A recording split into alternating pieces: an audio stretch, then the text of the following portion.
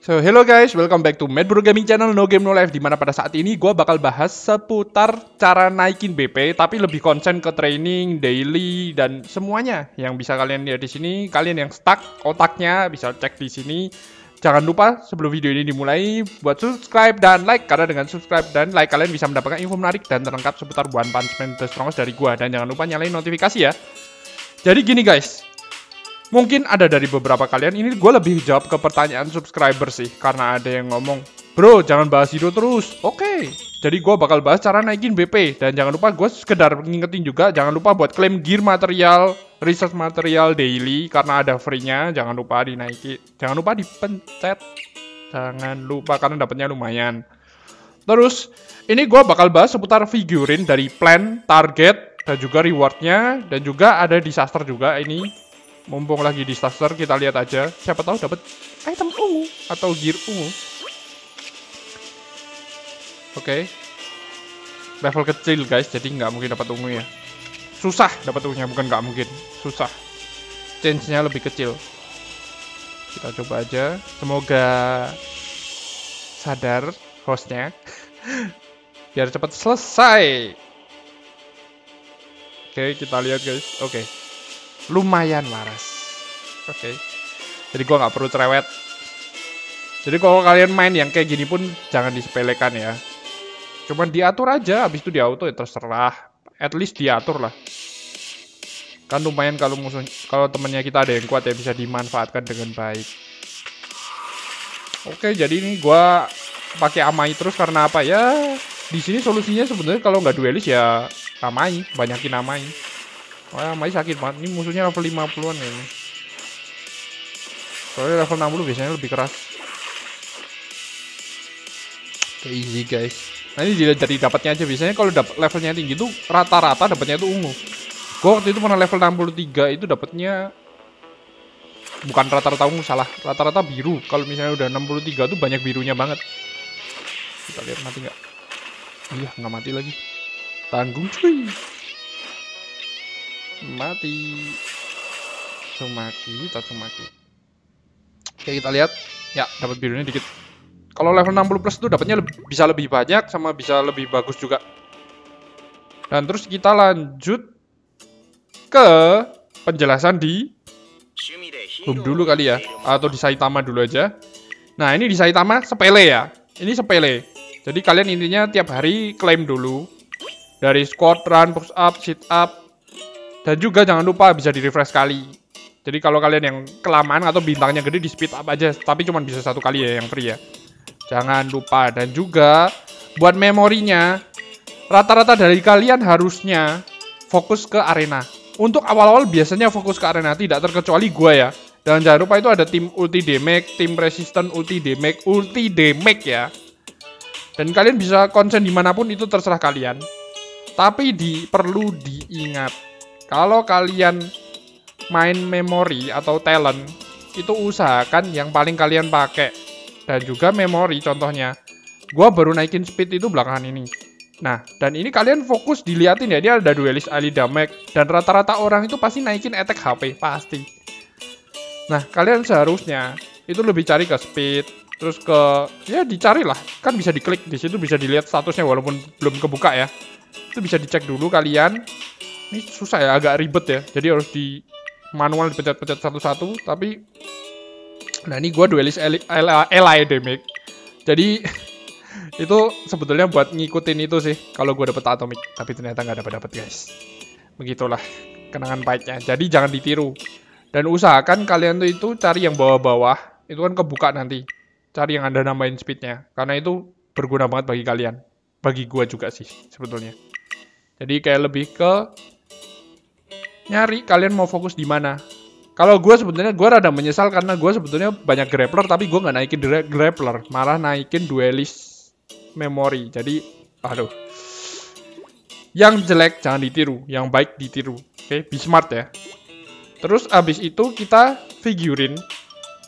Nah, ini di kanan itu ada plan dan target dan reward. Kalau plan itu biasanya dari hero-nya bintang 3. Nanti kalau udah 4 sampai 5, nanti udah berubah jadi kayak gue nih, 5 star character. Jadi udah bintang 5, baru nambah lagi.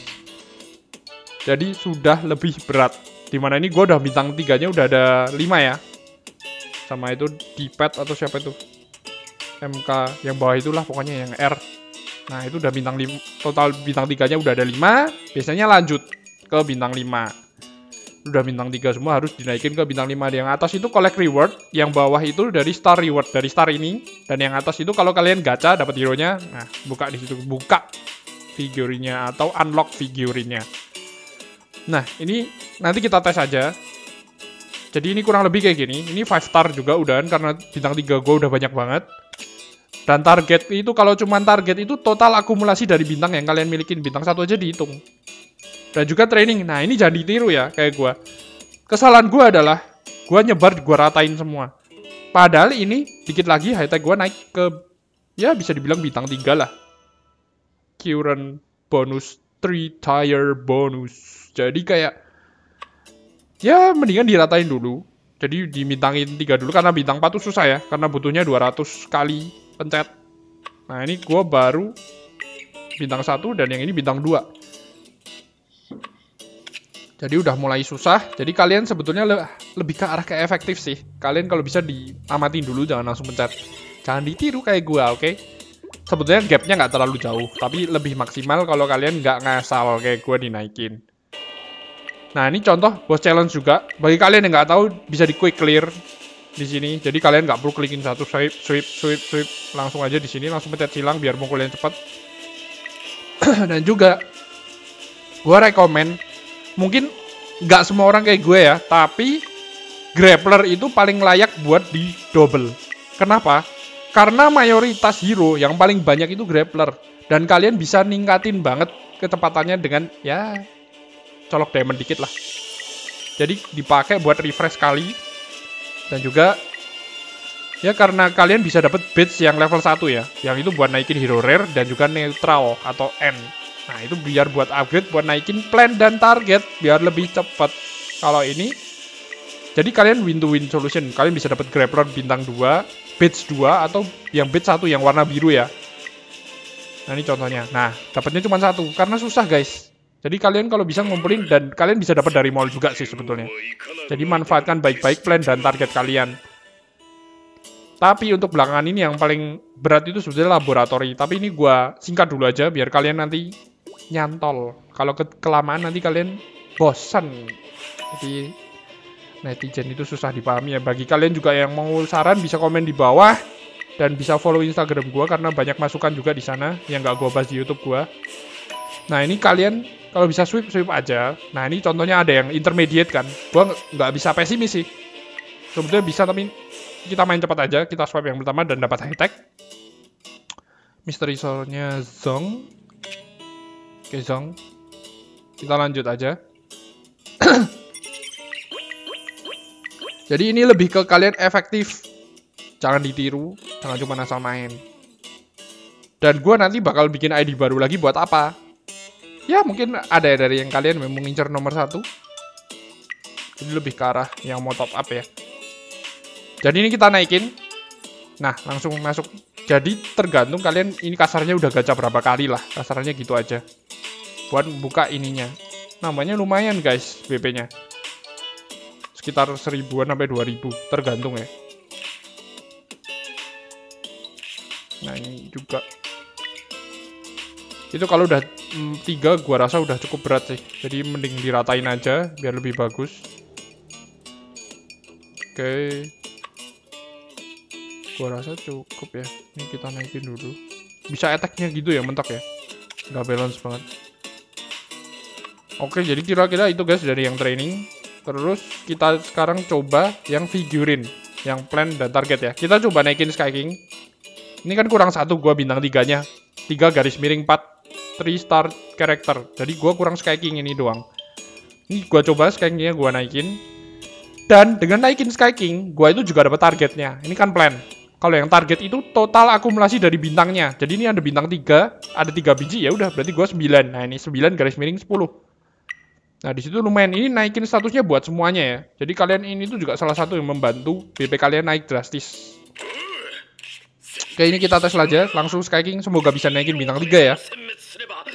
Oke, limit break. Oh, bisa guys. Oke. Jadi 222 habis itu 444. Itu berapa ya? 444. Naik satu ya. Biasanya kelipatan dua kalau yang target. Kelipatan dua bintang buat naik. Nah, ini sekali lagi harusnya plan dapat, target dapat karena udah bintang 3 dan juga targetnya kelipatan dua dari dari bintang satu naik ya. Ini gua harusnya dapat dua langsung.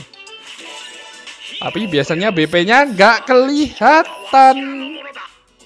Ya, nambah BP-nya nggak kelihatan, guys. Biasanya karena gue pernah kayak gitu ke double juga, BP-nya itu nambahnya nggak kelihatan. Seperti itu. Dan ini coba kita refresh. Zong. Jangan ditiru ya itu ya. Sabar aja mainnya. Itu jangan ditiru refresh. Jangan nafsuan. Dan juga jangan lupa, di sini bisa dismantle atau ngancurin.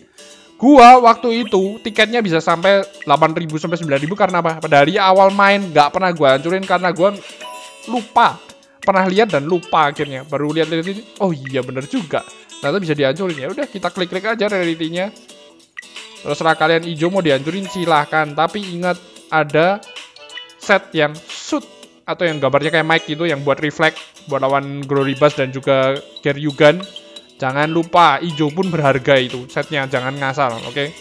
kan ini gue udah tahu udah aman gue shoot atau yang sweet itu gue cuma punya dikit jadi nggak apa-apa dihancurin karena udah gua pasang. Jadi dari plan targetnya kayak gitu guys. Ini kita cek dulu sebentar. Nah ini kelipatan dua ya. Tadi kan dari 9.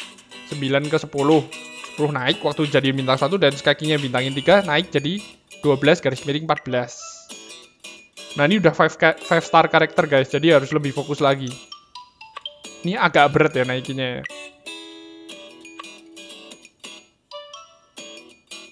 Nah, ini.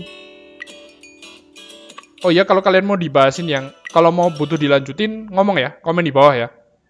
Kalau butuh dilanjutin cara naikin BP-nya yang lebih detail lagi, gua kalian gua detailin lagi soalnya ini masih ada banyak yang belum dibahas kayak laboratori, perks dan juga lain deh banyak maunya.